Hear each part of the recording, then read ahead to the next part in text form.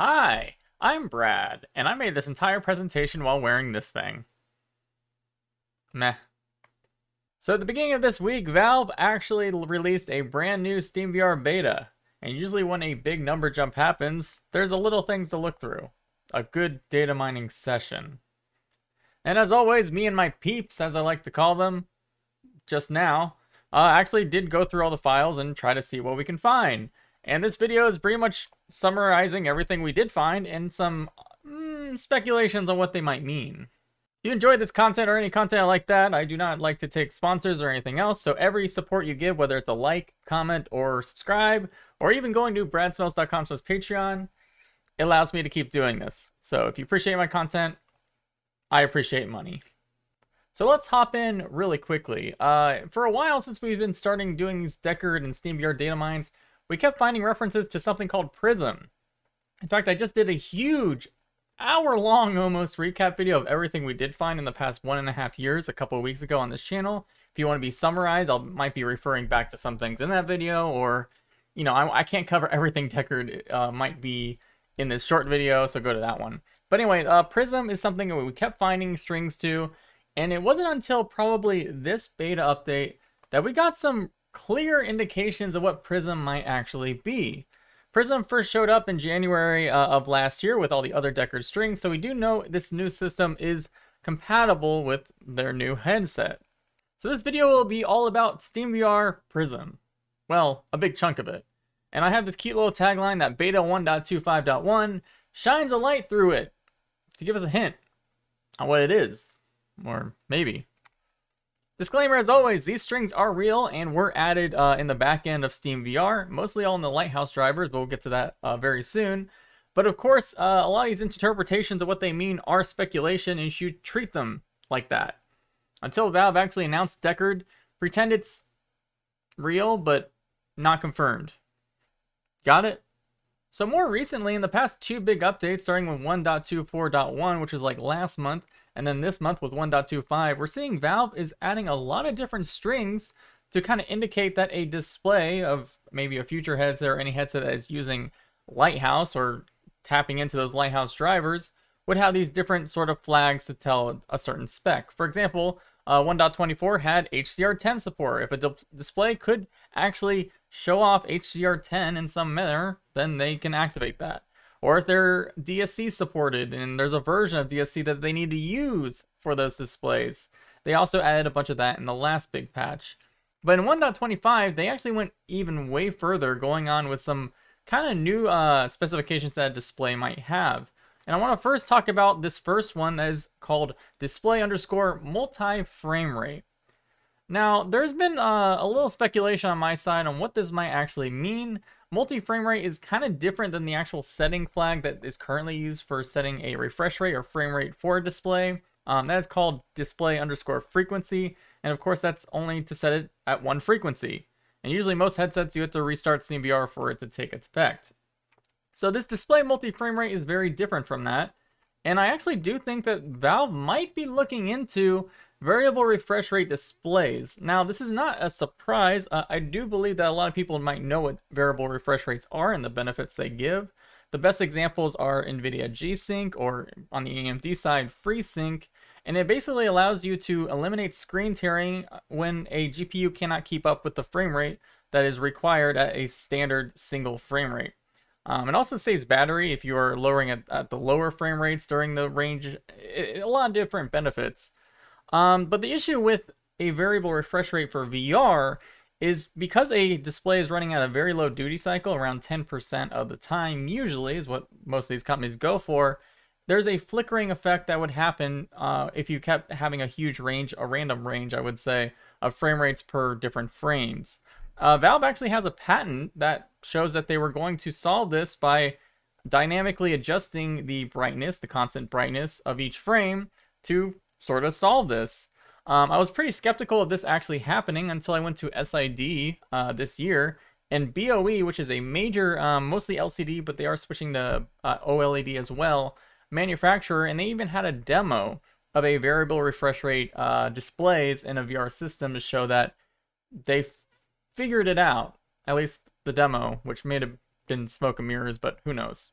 I think this would be the most likely case of what that multi-frame rate would be, since Valve has clearly published patents and done a lot of things to show it off. Um, also, that display I've been talking about for so many different videos, um, that, that micro OLED, I believe they partner with a micro OLED manufacturer for the military in the USA. Um, they released a 2K by 2K display, and it would actually supported variable refresh rates back at that time. And it seems like the 4K by 4K display is taking a lot of the design uh, ideas from that 2K and just kind of getting them bigger with some more features such as uh, lower dower needs outside of the center window. It wouldn't surprise me if this display also supported a variable refresh rate too. Now there was also some other strings that weren't really related to a uh, sort of display spec. You wouldn't just turn it on or off. But these were uh, things related to setting subpixel shifts what are subpixel shifts? Well, I kind of did some research on that. So subpixel shifting is a very common thing used in OLED and LCD displays, um, especially for LCD stripe. Um, usually, if you don't do this sort of subpixel shifting, you'll see a lot of aliasing or just ugly text um, if you don't have any subpixel shifting going on. And basically what happens is usually they turn on or like set certain red or blue, usually it's red or blue, pixels around text, for example, to turn on slightly so you get more of a smooth, rounded view uh, when you're directly staring at text all day. So you don't get this weird, old, blocky, like low resolution stuff. It's just a way to make things look clearer. This might be especially useful if they do something called counter rotation, which I'm going to talk a lot about in later in this video, but uh, this thing, which is the Quest Pro, is one of the headsets that do counter rotation of their display panels. And I will tell you, the text anti-aliasing looks really bad sometimes in rendering. And I'm wondering uh, if there's just not much uh, leeway to do a lot of this subpixel shifting within the headset or whatever they're doing It's just not good enough. So it's very important, especially when you get into these clear lenses. You're going to notice these uh, the, the, these sort of aliasing of pixels and edges way more. Now this is where we start talking about actually Prism. Uh, there were some new strings which sound very exciting to me because we've been dying for strings that just hint to us what Prism might actually be, and we got some here. So there's something called a prism correction, which you can enable for what seems to be the left or right eyes. And it's to the point where it will even do something when you turn it on, it will override a loaded device JSON. Now, this is really interesting, and I probably have never talked about uh, device JSONs very much on this channel. So I'm going to give a first a, a little explanation what that is.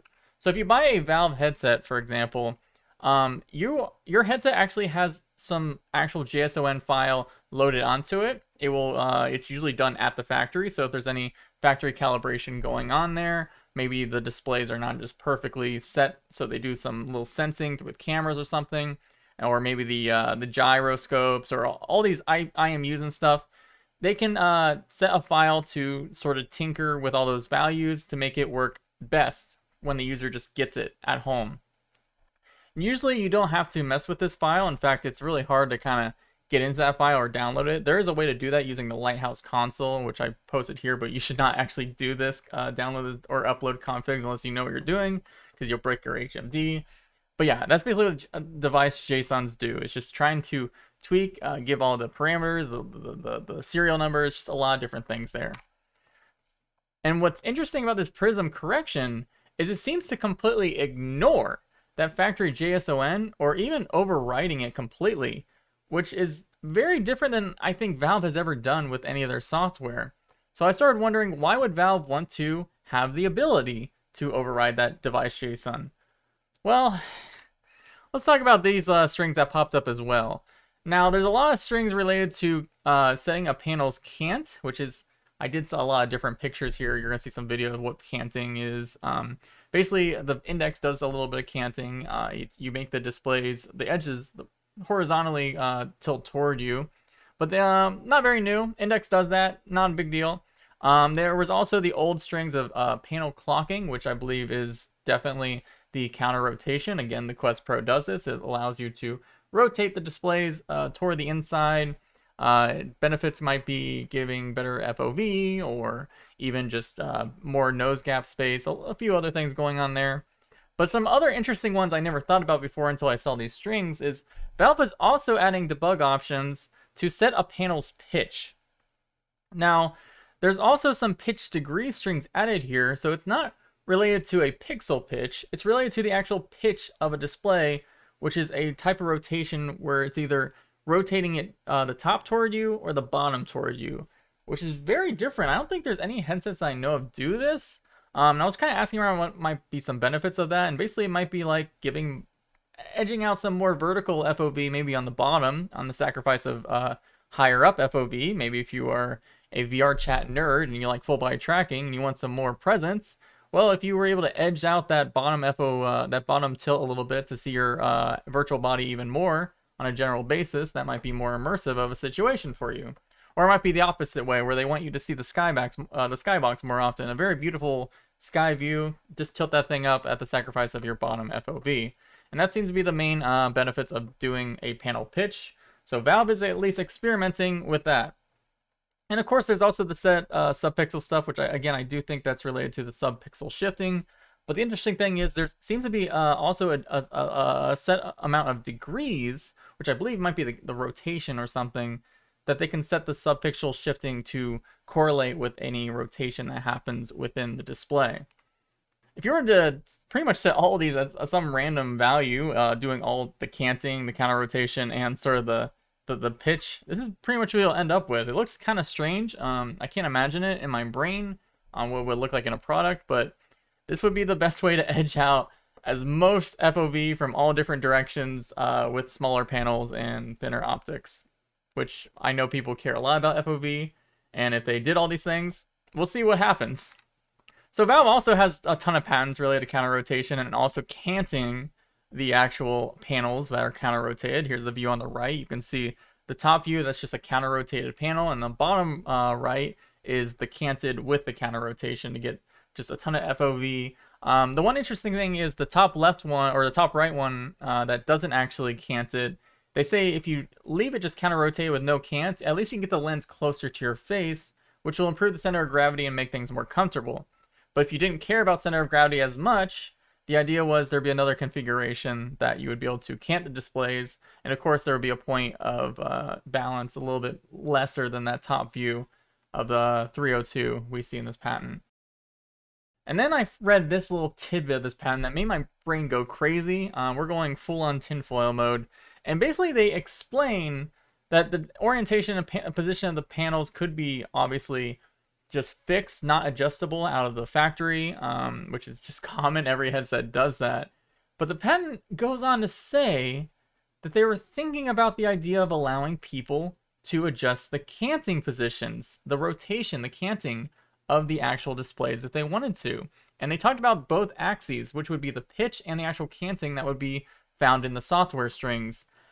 I have no idea if they would actually give the user the ability to do this, but when we think about all these strings that allow you to set and adjust both of these things, and they also have this prism correction that seems to be all about setting up the displays to override all these out of uh, manufacturing lines uh, standard configuration. Maybe Valve wants to let people mess with that a little bit. I I don't know. Maybe that's why they also expect people to mess with the top strap even more to where they're not really reliant on Velcro, but they want to have an entire pulley system designed purely for that top strap because people are going to be adjusting it so much because they're going to be adjusting displays to rotate certain ways and pitches to make things more comfortable. And maybe that's what Jeremy Selan, who is very big on the actual display side of the VR team, maybe that's what he meant on making hardware more like software. Or maybe I'm just crazy as normal, which is always true as well. But let's just get out of Prism. Again, I really do think Prism is related to overriding the device specifications. Uh, basically, depending on what you set the IPD, uh, the, the, the rotation, these might all be things that Prism is designed to do. Prism it basically calculates based on maybe eye tracking position or all these other um, rotational values that you have set for the displays and lens housings and the prism, with some very intense math, sets the panels to work with that. Maybe. Again, tinfoil hat could be true, could be not true, but kind of fits in my brain, even though it sounds crazy and like an engineering nightmare.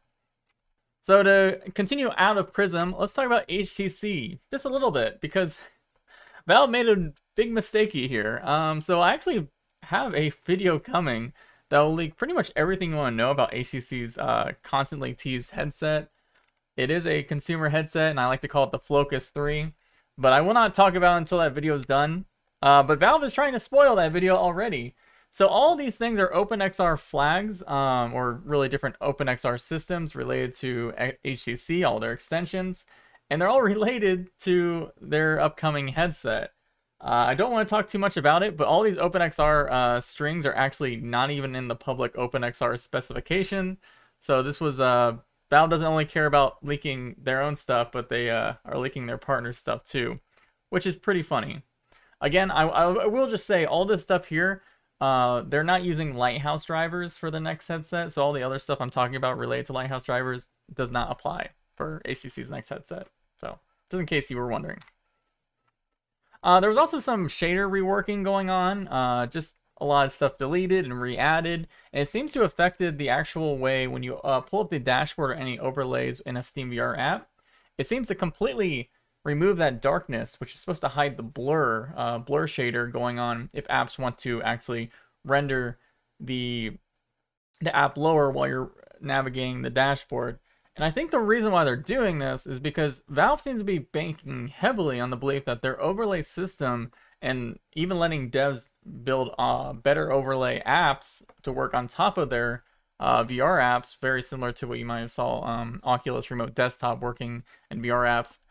They seem to be trying to support that and make those things better and more usable. I don't think people want to have things darkened if they open up the dashboard to access an overlay or something. So that's why I think why they might be doing this. Um, they also made the text a little bit bolder and deleted the older text that made things look thinner. Again, don't know why they might be doing that, but they're just changing things around a little bit in the UI. Uh, speaking of allowing overlay app developers to actually do a little bit more things, this is what the normally the uh, SteamVR dashboard desktop mode and like any windows you create with the desktop mode, they have something called a control bar, which is um, on the bottom here. You can see allows you to adjust the size, uh, pull up keyboard, activate night mode. That's what they're using for their own desktop uh, experience. But they added some strings to allow developers, or at least at one point allow developers, to actually en enable this control bar for their overlays uh, hand built as well, which allow you to close the control bar, open up a keyboard. Very simple things, but I, I do believe that uh, someone at Valve is very interested in just building out their overlays as much as they can. There's also some new references to allow the Skydome, which uh, I haven't talked about Skydome in a while. I still don't know exactly what Skydome is. It seems to be some new feature set or maybe something related to room view or something. Um, but you can allow it. It might also be related to the theater mode as well, but for now, uh, you cannot actually allow Skydome, even though the textures, as you can see in this short video, do exist, and you can set those textures to be weird SteamVR backgrounds, but they don't fit correctly. We also have a spatial encode mode. I don't know. it's spatial encoding, spatial computing. I don't know. And finally, in the Lighthouse drivers, we have some new OpenXR inputs that are not related to the Valve Index knuckles. They don't use any of these ones that are highlighted in green, which is very strange. I don't know if they're going to be doing some new controllers with XY buttons or what. And um, yeah, the joystick in uh, the index controller joystick is called thumbstick with the OpenXR flags.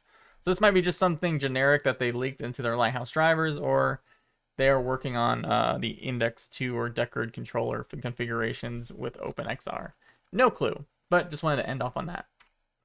Not really. I actually wanted to end off on my Omega patrons. Thank you to all these people here who give me $25 a month to do crazy, crazy videos like this one.